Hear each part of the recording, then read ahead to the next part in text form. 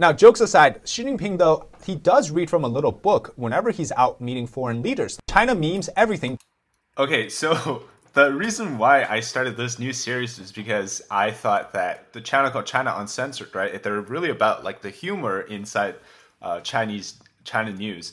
But I thought you need to do a series where you basically give that funniness to this this type of really bizarre stuff coming out of China. So I thought, why not get you guys to understand the memes of the other language? Because in so Chinese meme is it, the memes are hilarious because they're often rooted in a lot of the cultural uh, connotations as well as just the bizarre trends of the, the leadership, right? And then so you combine those two things, it gets pretty funny.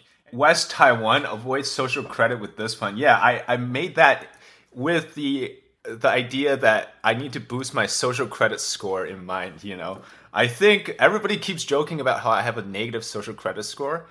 I simply uh, so in China you, you got to have like the Chinese hukou, which is like the residential permit to be registered in China to to have the social credit, right? Since I'm not in China anymore, it really doesn't apply to me, but I just find it funny because occasionally, you know, I wonder if you say some of the stuff, you know, it's it's not really praising Xi Jinping, but if the bots would detect it and think that you are. And YouTube's been blocking a lot of these videos. I'm fighting against their censorship, which didn't happen for a while. So I'm not so sure if uh, there's Chinese bots mass reporting my channel now or what, but seems like it's happening more frequently than before. Okay, what else is here? Uh, imagine him whipping someone because they corrected his spelling.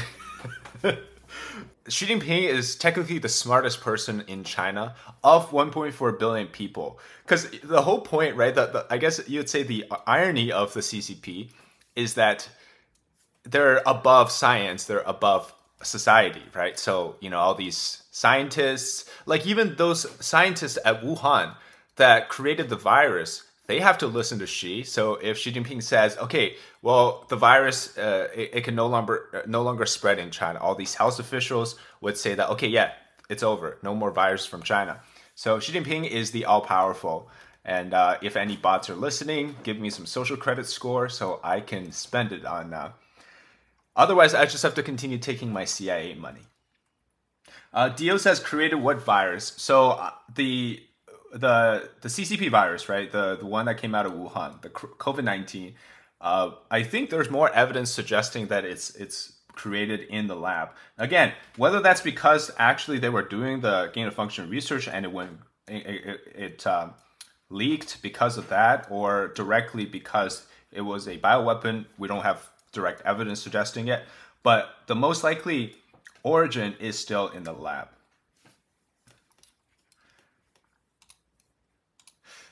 Oh, sorry, Dio. I misunderstood you. Yeah, sorry. No, no. Uh, my mistake. I'm sorry. There was no, nothing happened in China. Okay, nothing happened in Wuhan. I'm sorry. This is tofu dreg construction, so China's poorly constructed buildings made with foundation and first, building materials like, that are poorly mixed channel, due to right? a lack so, of funding. That's uh, because the project lead and management swallowed up money due to rampant this. corruption and graft. Here, let me stop that. Uh, so I've read some of these comments, but I'll just revisit them. So I already posted these, right? So you have uh, from that funny human five nine six nine says gets mad, throws controller at wall, neighbor gets a new controller. if you want to support this channel, consider checking out Blueberry Quality Products. Great product here for you called GinEx Red Ginseng Extract is actually a product from Canada. Great for improving your alertness as I basically take two, three drops in the morning and I've seen that throughout my day I yawn less and I'm less tired which uh, often, you know, when you're doing this kind of work, it takes consumes a lot of energy, especially with your brain activities. But uh, my friends, they're trying it and they say that throughout the day they're yawning less, and they feel that this can be replacement for the two to three cups of coffees that they have to drink throughout the day to stay awake. So it's great product for you if you're somebody that struggles to get up in the morning. And this one, give it a try. So it's called the GinEx Red Ginseng Extract from Canada. The Barnaby guy says, "Angry neighbor punched my apartment room walls falls down." uh, gets on a fight, loses fight, gets extremely angry, throws glass cup on a wall. I don't know if all these commenters, uh, the viewers, are like 4chan users or not, but I love the um, that style of like single line text. Hilarious. Uh, local meme dealer 3368, this is like one of my favorite. Imagine talking about the Chinese government and they literally just walk through your walls. like uh, the shiny. Like just imagine this, but instead of that, it's Xi Jinping's face, or or like the Chinese police. to be fair, an 8.0 magnitude earthquake is devastating. Yeah, so that one, um, I think with Tofu Jack, the problem is I, I highlighted this in, I don't know if one of the videos or somewhere, uh, in Nepal, the, the Chinese government helped them build an, uh, a, a hospital. And there was an 8.0 earthquake in Nepal. And then that hospital was fine. And then somehow an 8.0 earthquake in China, all these school buildings collapse you know. But the government building buildings were fine. Uh, this one's pretty hilarious too. It says Tyrone Bigham seven two nine six says they took is it cake or real to a whole other level. totally a real bot says green texts are hilarious. They're the only reason to go on 4chan nowadays. Yeah, so I, I don't actually use 4chan, but I do watch, I have followed, like, for example, on Twitter, there's these accounts that repost them be me hungry gets some tofu to start eating neighbor watches me no longer now no longer my neighbor lives with me we have no walls uh, pretty funny imagine if you're getting uh, with your partner and you end up a floor below you with your pet open floor plan that's exactly it everybody else talks about open floor plan like it's a supposed to be the horizontal open floor. China, it's all vertical. It's like when you go to the real estate in China, they're like, how many floors do you really want to get? And you're like, uh, two to three. And they're like, sure, this building here. You know, when you when you jump, you the the way that you fall down is like you jump down through a hole.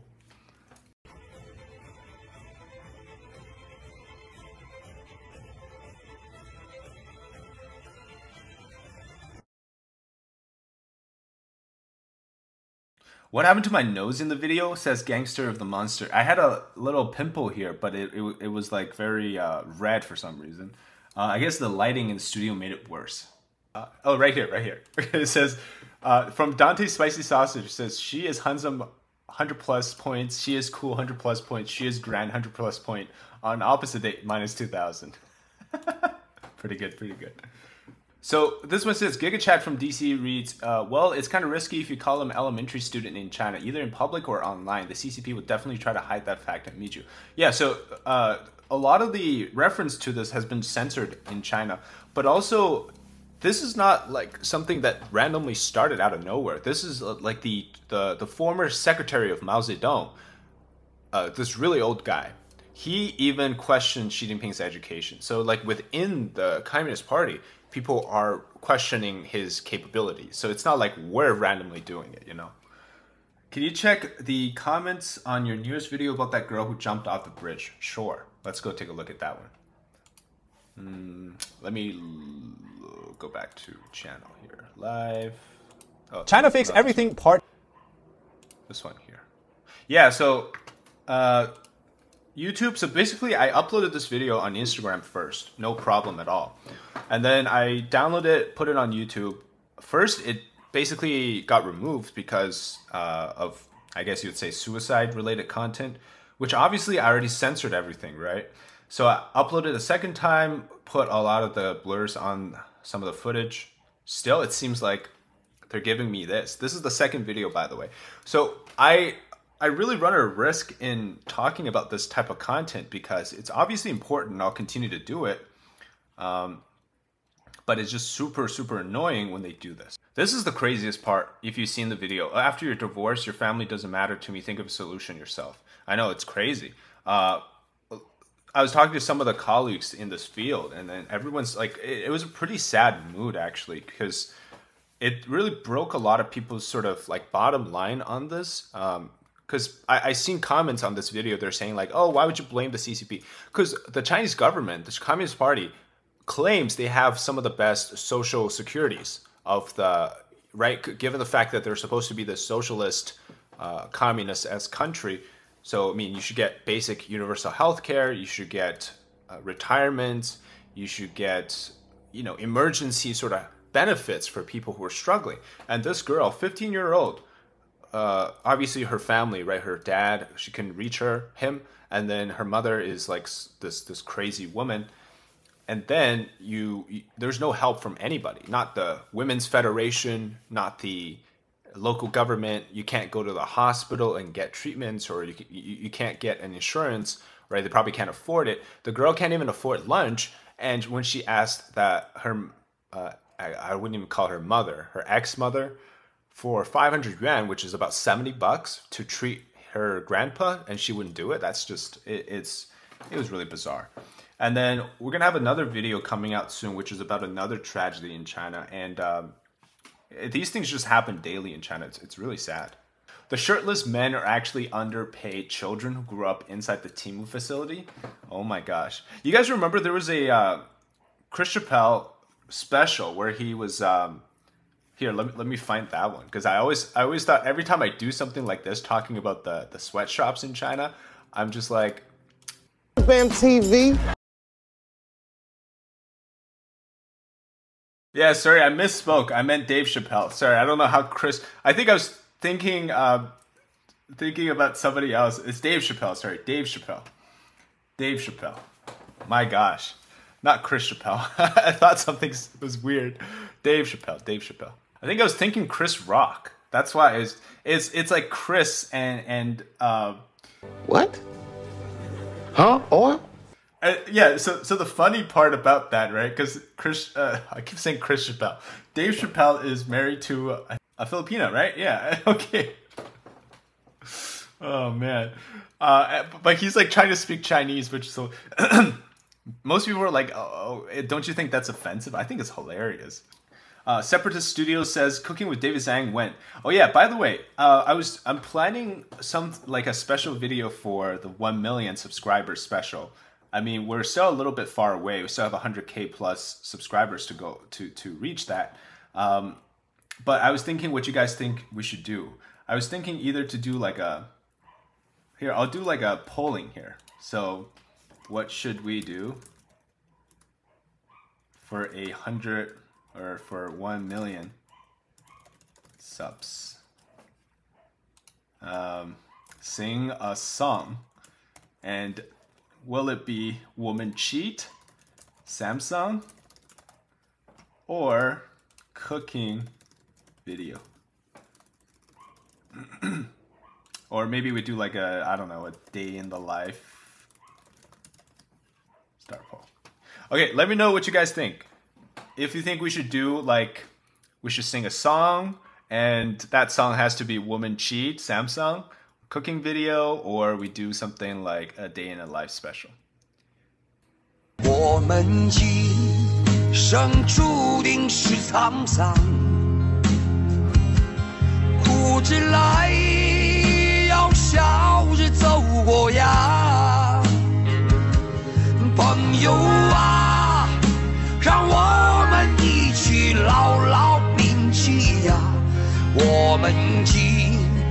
生兄弟情一场。啊 this is one if of my Chinese favorite EV videos. isn't actually. spinning its steering wheel like a helicopter, are you even buying the right one? I found this other video from a driver complaining that his BYD EV, which has three terrible designs, he complains about the air conditioning being angled in such a way that it is anti-Chinese culture. The AC is designed so that the wheel scrolling controls the speed of the fan. Too little, it doesn't cool. Too much, it blows into his nose and face. The AC either aims at his knees, his stomach, or his nose. And Chinese people are really sensitive to cold exposure as it leads to many health problems. His second complaint I just can't stop laughing. He says that the seat on the BYD has a vertical sewing line that runs along the middle. Normally, we know that car seats have lines that run across the seat and are sewn in a way that you wouldn't feel it. But in this BYD car, that's where it fits like a thong, his words, not mine, to the nether region. It cuts right through and he thought that he had gotten hemorrhoids as it felt itchy and burning. Uh, Sir God says, "Is these this the official CPP foreign policy channel?" Yes, you're at a uh, official Chinese Communist Party out, uh, news outlet channel. What we do here is we spread the awareness of the the, the the the Chinese regime, and we hope to farm some social credits on the way. That's exactly it. Yeah. So that guy's hilarious. Uh, I have to raise my eyebrow. Yeah, so I had to say this. His words, not mine. Uh, I definitely don't have an experience knowing what it feels like. Uh, so definitely not my uh, definitely not my my own experience. This one's gonna hit hard among OnlyFans girls. Uh, what the heck? As a kid, that's how I found out. Tried a pair of my sisters. Oh my god.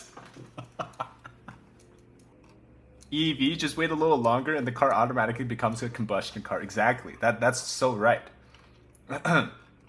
if your EV car seats doesn't fit uh, your butt like a thong and give you hemorrhoids, or even buying the right one. that was a pretty good one. I remember loving that. Uh, the Chinese people are just as sensitive to cold exposure as every other human. There's a large chunk of northern China that gets pretty cold. Okay, a lot of people think I'm lying when I say that Chinese people are afraid of cold. Like it's a it's an actual cultural thing. But there's literally here I'll show you. There's a literal um, so China literally has a Chinese medicine scripture that talks about coldness. And so I'm not even joking when I say that like literally people are afraid of cold in China. It's a huge thing. So I actually I was meant to do a cooking video a long ago, but I screwed that up because I had a GoPro hooked up to my to my uh, body when I was cooking. And then here, let me grab my wok and I can show you. Give me a sec, I'll be back.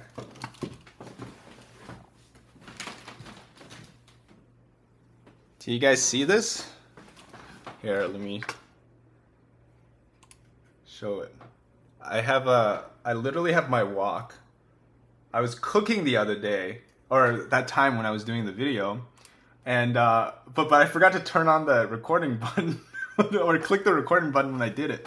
So I I oh the realistic robot video yeah yeah I I've seen that that's crazy. I should do one about that too, but they don't have a really good AI system. Chinese internet users found their next Wailing Wall, a video about Red Alert 2 Yuri's Revenge has gone viral. So this was the one where uh, if you ever played this game when you were younger, it's called Red Alert 2 Yuri's Revenge. It's like a uh, this world is just a video game pay to win and filled with microtransaction. You know, the game gets much harder when you reach level 18. What else is there?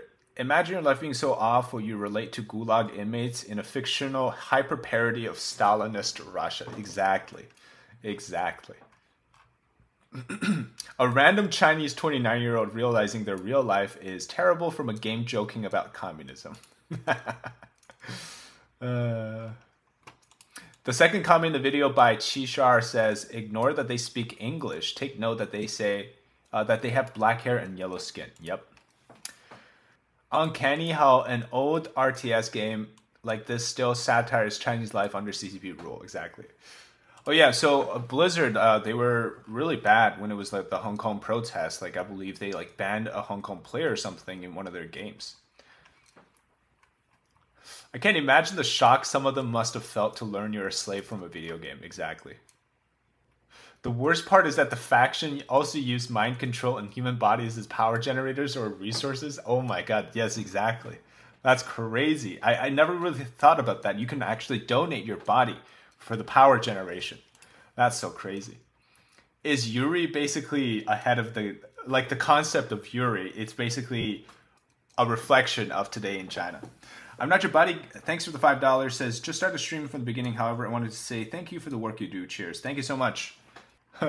Broken, malnourished, skinny worker. Can I break and freedom? China says nah. the the worst part is they can turn you into the brutes which is like they change your genes and it's uh, hilarious because in China they're also studying like gene weapons too, genetic weapons. Uh, so that's like the entire Yuri faction is basically communist China. Okay, last video. I, we're about to end the stream, so we'll do another one. Let me see here. Uh, let me know if you want this kind of stream more often, where we just kind of have a chat and talk about things on Saturdays. And um, just just kind of relax. And sorry, uh, th- this haircut was just. Uh, let, let me look at this though. China Fakes Everything Part Nine. This. Uh, damn, even slums here in the Philippines have more stable housing than that. That's crazy. I I, I really want to visit the Philippines too. I really like uh, the Filipino people and the culture, so I really want to visit them. I had a uh, a lot of friends growing up who are Filipino. Uh, China doesn't cut corners; they cut into triangles. That's a really funny comment. Okay, that gets a like. Everyone for the last 20 years, China's going to be the next world superpower. China, buildings made out of dust and prop safety equipment. Pretty good. Uh, might be watery for lucky. Yeah, exactly. Uh, as an architect, this hurts me just by watching, but I bet it hurts engineers more. I, somebody commented a story how I think it was like their boyfriend who visited her in China and found the buildings were just like they didn't meet the construction standards, and she was so worried that something would like the building would collapse. Um, so that's pretty funny.